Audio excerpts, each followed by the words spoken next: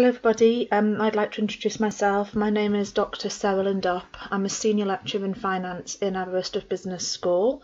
Um, my contact details are, um, are there if anybody would like to email me um, to have a chat or, or to discuss the um, presentation today. Um, and today the presentation that we're going to be looking at is um, the weird and bizarre laws of VAT, so value added tax.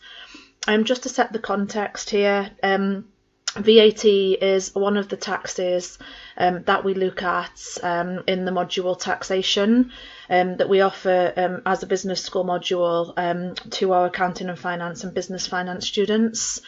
Um, we also look at income tax, corporation tax, capital gains tax, but I've picked VAT today to have a look at because there are some weird and wonderful um, strange um, kind of laws of VAT that affect different products. Um, so I'd like to um, obviously introduce you to, to those in today's presentation. So um, what we're going to be looking at in the next few slides is um, how VAT works, so what is VAT and how it's collected, um, the difference between what we call input VAT and output VAT, the different rates of VAT and the different items that then fall under the different rates. And then we move on to um, finish off by looking at the weird and the bizarre. And we look at Jaffa cakes, Pringles, gingerbread men, chocolate tea cakes, um, sanitary products. Um, and we finish off um, the recording today um, with some kind of quick um, quiz questions for you to have a look at um, to see how much you've picked up from the um, from the presentation today. So how does it work? How does VAT work? How is it collected? Um, VAT was introduced in 1973 in the UK by the then Chancellor Lord Barber.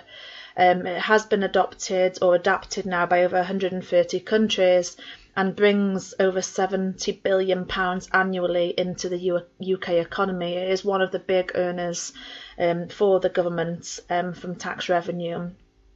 So it's a system of legislation whereby a business is taxed on components that are used to make a product, um, and then this is recouped when the consumer makes a purchase. Um, so it operates by registered traders collecting VAT from customers they sell to on behalf of the government. But these traders can then reclaim any VAT that they've paid or that they've suffered on their purchases. And this is where we get the different terminology the input um, VAT or the input tax and the output VAT or the output tax. So we have a company um, who obviously charges um, VAT on top of their price of their goods and services. So when they sell products or services, then they they um, they receive the VAT on top of the price. But when they're obviously purchasing their products or their raw materials to make their products, that company would have to pay VAT on their purchases. So we look at the difference between the input and the output VAT um, to work out um, how much VAT then um, gets collected by HMRC and Customs.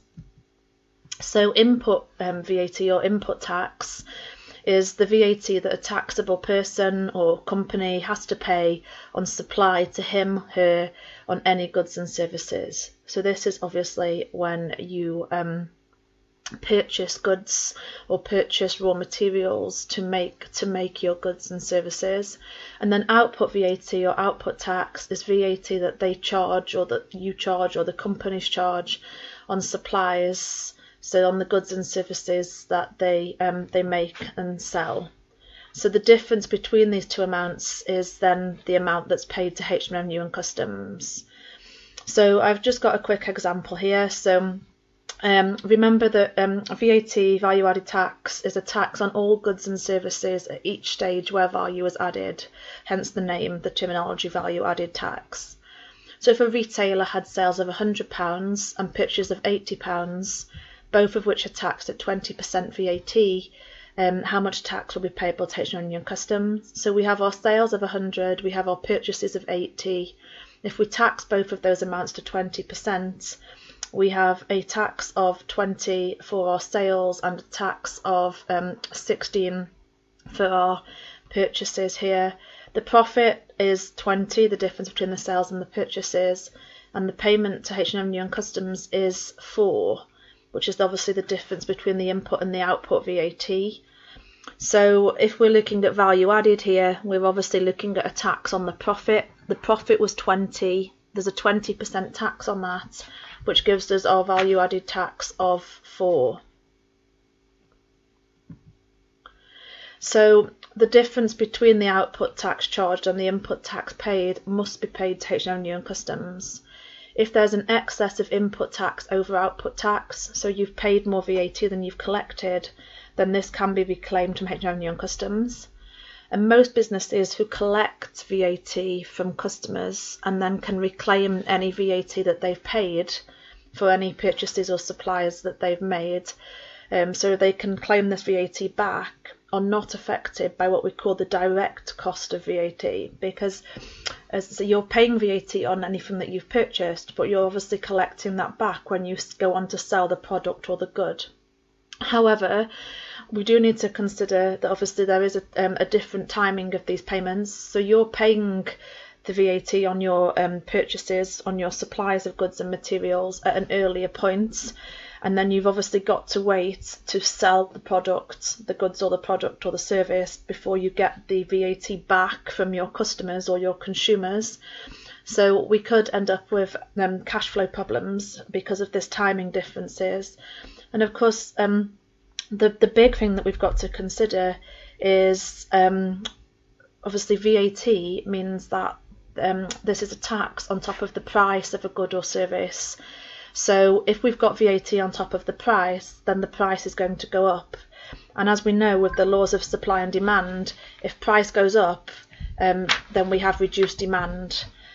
Um, and this is obviously um, a big thing for companies to consider, um, which we're going to look look at um, as we look at some examples in a second. Um, but this is why McVitie's and um, Pringles manufacturer Procter and Gamble um, actually were trying to argue um, that um, their products shouldn't have VAT on top of the price because, of course, if price goes up, um, demand falls. So, um, if I asked you the question before the presentation today, how many rates of VAT are there? probably you would say one because we know we all know the standard rate of VAT which at the minute is 20% over the last few years it has changed. It's been um, 15% it's been 17.5% um, but at the minute it is um, 20% so that's our standard rate of VAT we then have a lower rate of VAT um, that's set at 5%. We have a zero rate at 0%, and then we have exempt items that are exempt from VAT, so there's no rate. Now, you may be sat there thinking, well, what's the difference between exempt and zero, and what's the difference between lower um, and zero. Um, we will come on to that as we go through the next few slides. But there are actually four different rates of VAT. So we have the 20% standard rate, the 5% lower rate, the 0% zero rate, and then the exempt rate. So, unless um, goods or services or supplies are specifically exempt or zero rated, then they're always taxable at the standard rates, um, with a few examples that are taxed at the lower rate. So the next few slides are just looking at um, different items, different goods um, that are um, taxed under these different different rates. So we have the lower rated supplies, which is the 5% um, VAT, um, and these are things like um, contraceptives, um, sanitary products, children's car seats, um, nicotine patches or gum, and um, energy saving materials, so things like loft installation. These are examples of lower rated suppliers. So these are not exempt or zero rated, but they're not standard they're not standard rated standard rated. We normally say that things that fall under the standard rate are classed as um, luxury items. So these are obviously not classed as luxury and um, luxury items but equally they're not classed as necessities under the VAT rules because if they're classed as necessities then it's either exempt or zero rate so this is the zero rate um, list. So we've got food, which is for obviously human consumption or animal food, although pet food is not included because it's classed as a luxury for having a pet. Um, we've also got exceptions, um, so food that is used in catering, ice cream, sweets, so confectionery sweets, and chocolate biscuits, spirits, and beer and wine are not classed as zero rated. Now, obviously, I want to highlight the chocolate biscuits there because that comes back into play in the next few slides when we start to look at Jaffa cakes. So chocolate biscuits, sweets, ice cream, alcohol, pet food are not classed as um, necessities, so they're not zero rated. We've got sewerage services, we've got books, newspapers, drugs, medicines, tax-free shops, and protective clothing, crash helmets, bike helmets. These, so these are not. This is not an exhaustive list. These are just an indication of of some of the things that um, fall under these different rated categories. And then we have the exempt.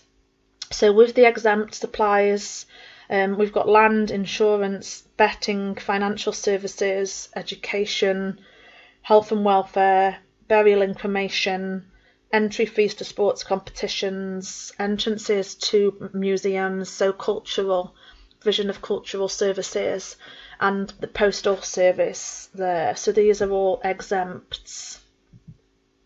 So this is now where it starts to get interesting if we start to compare what's what's included in these lists of the different um, the different rated items. Um, so just a couple of things before we start to look at um, Jaffa cakes and Pringles and gingerbread men, etc.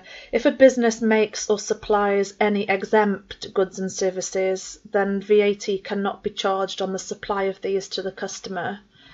If a business only supplies exempt um, goods and services, then that means that they cannot register for VAT, which means that they cannot claim back any input tax that they would have paid on their um, purchases. Um, so businesses would actually prefer to be zero rated as opposed to exempt, because if you're classed as zero rated, then you're still obviously be, you're still able to register for VAT even though VAT as it's zero percent, but you can still register and you can still reclaim back any input VAT that you would have paid when you obviously purchased any of your products or any of your materials to make your products. So businesses will prefer to be zero rated and not exempt because if you're exempt, you cannot register for VAT. Okay, so now we start looking at the um, kind of the the conundrums as as to what's included under what rates. So the first one that you probably have heard of is Jaffa cakes. So the question is is Jaffa cakes a biscuit or a cake? Because if we go back, if it's classed as a biscuit, you can see here that um, it says in the brackets there exceptions um, to the zero rate include chocolate biscuits, but there's nothing there about cakes being an exception. So according to the rules, cakes are actually zero rated and chocolate biscuits aren't. Okay, so the question was, is Jaffa cakes a biscuit or a cake? So in 1991, H&M Customs um, actually challenged the Jaffa cake manufacturer McVitie's on the um, the Jaffa cake, and um, they believed that they were biscuits and not cakes. And McVitie's actually um, obviously fought back against this claim, and the case went to tribunal. McVitie's actually baked a 12-inch Jaffa cake to show um, the um, obviously participants in the tribunal and to draw their attention to the cake-like base of the Jaffa cake. And obviously they were trying to prove that they were actually a cake and not a biscuit. Now, why does it matter? Remember, if they're a cake, then VAT doesn't have to be charged on top of the price of the good. If they're a chocolate biscuit, then VAT has to be added to the price. So it would mean that the price would obviously increase. Um, in fact, um, H&M Customs did rule in McVitie's favour.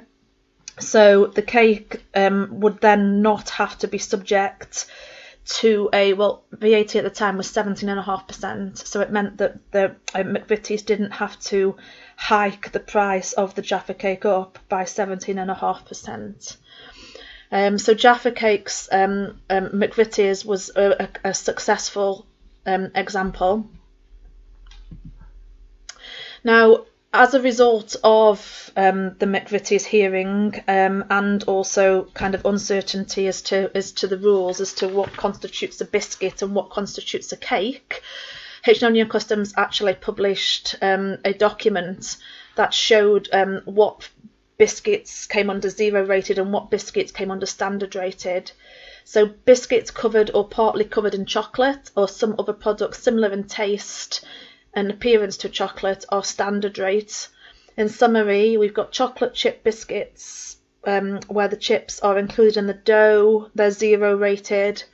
Bourbon and other biscuits where the chocolate or similar product forms a sandwich layer between the two biscuits two biscuit halves and is not continued onto the outer surface are zero rated and Jaffa cakes there are zero rated.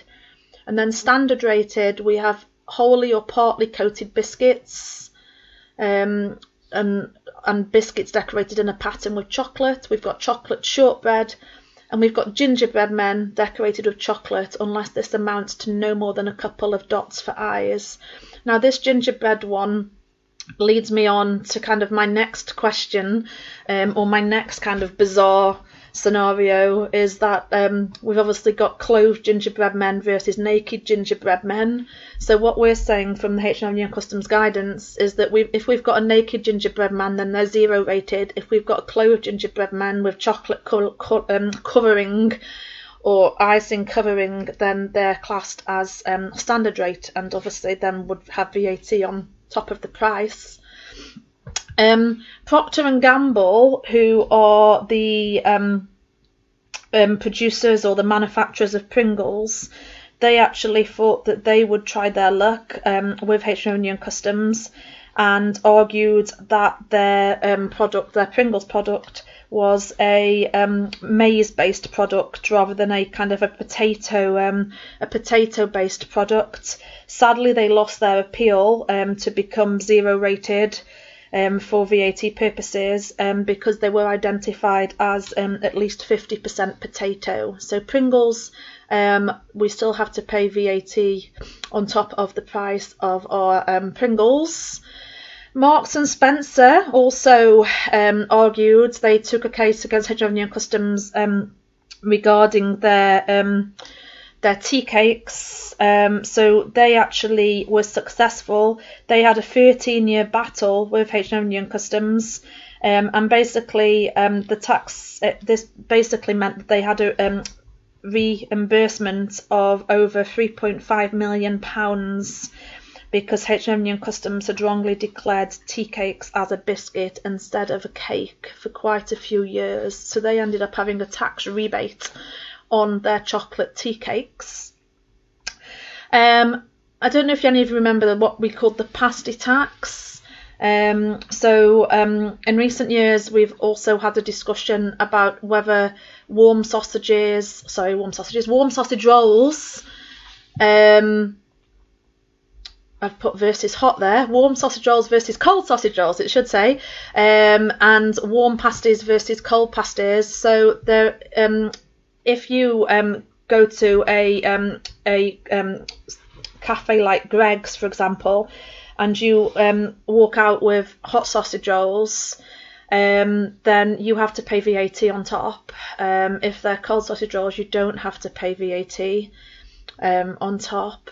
Um, and the the final one that I've included there, and as I say, these are just are just a small um, few examples of this kind of bizarre the bizarre rules um, because of these different rates of, of VAT and what falls under these different rates of VAT is um, what was called the tampon tax.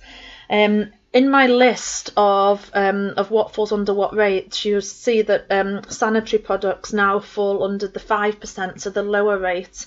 Um, but back in um, 2000s, um, sanitary products were actually taxed at the full rate, which at the time was 17.5% um, but they're now classed as um, kind of non-essential um, items, but but they're um, but they're still um, obviously taxed to a lower rate um, because they're not luxury, not luxury items. in October 2015, um, this went back to the House of Commons to to, to argue whether um, we sh- sanitary products should actually be exempt or zero rated. Um, but unfortunately, again, um, despite a huge campaign to try to um, to change the rate of VAT on sanitary products, um, the rate still remains unchanged. So it's still five percent, but at least that is better than the um, obviously the the 17.5 percent um, in in 2000 or 20% if it was standard rate today. So um, the presentation today is to just to give you an idea of some of the strange rules. Um, so because of the different rates of VAT and and obviously the definitions of what falls under those rates, it leads to these kind of weird and bizarre situations.